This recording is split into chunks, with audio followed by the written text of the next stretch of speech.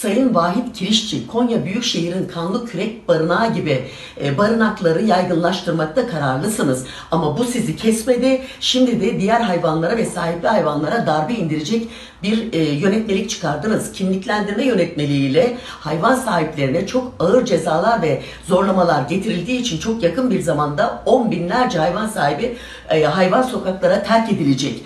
Ayrıca Türkiye'de 1200 belediyede bakım evi olmadığını, bir kısmında veteriner hekim olmadığını bile bile siz diyorsunuz ki bir yerde yaralı hasta hayvan, mağdur hayvan olduğu zaman bu hayvanları belediyelere götürün. Ben size soruyorum veterineri barınağı olmayan belediyelere bu hayvanlar nasıl götürülecek? Ayrıca bu belediyeler çöplüklere, dağlara, kırsala binlerce hayvanlar atıyorlar. Bu hayvanların mağdur hasta olanlarına merhamet ehli vatandaşlar müdahale ediyor. Siz bunu da yasaklıyorsunuz. Diyorsunuz ki bu hayvanları belediyelere götürün. Çöplüklere, belediye çöplüklere hayvan atan bu belediyelere bu hayvanlar nasıl götürülecek Sayın Vahit Kirişçi?